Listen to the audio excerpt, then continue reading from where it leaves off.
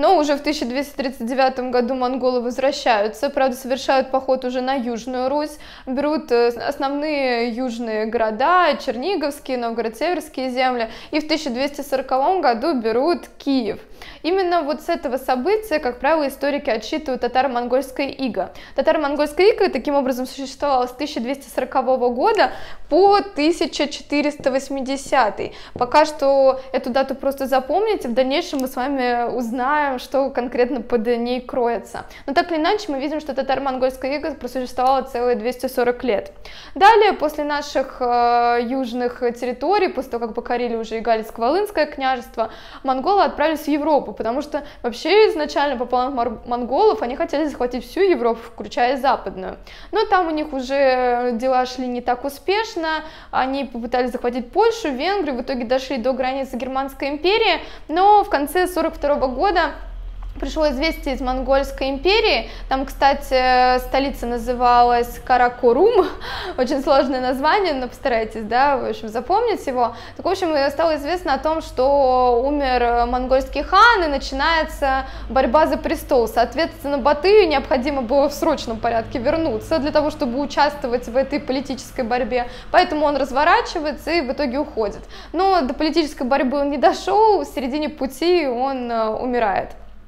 Так вот, о чем бы я хотела бы сказать, и что хотела бы еще отдельно отметить, что у монголов не получилось захватить Европу, ну, по нескольким причинам, но в частности, именно Русь стала таким щитом на пути монголов в Европу. Именно на территории Руси монголы потеряли своих наилучших воинов, своих лучших полководцев, и поэтому, когда они пришли в Западную Европу, там уже у них практически сил воевать не было. Поэтому, конечно, у Руси тут такая тяжелая доля, но э, в плане развития развитие мировой цивилизации, конечно, очень-очень важное. Но как же получилось так, то, что русские войска проиграли монголо-татарским? В чем же причина его поражения? Первая и основная причина поражения русского войска – это, конечно же, феодальная раздробленность. Дело заключалось в том, что все князья были разобщены, не было единой армии, каждый князь стремился защитить только свое маленькое княжество, свое микрогосударство, не думая о защите целостности всей Древней Руси. Таким образом, именно феодальная раздробленность, как мне кажется, стала э, наибольшей степени главным фактором э, того, что русские войска проиграли. Но, конечно же, это была не единственная причина. Следующая причина это то, что в монгольском войске царила, ну, прямо лютая, очень жесткая дисциплина. Известно, что монгольское войско делилось на десятки, сотни, тысячи и десять тысяч. Десять тысяч они называли таким словом «тьма».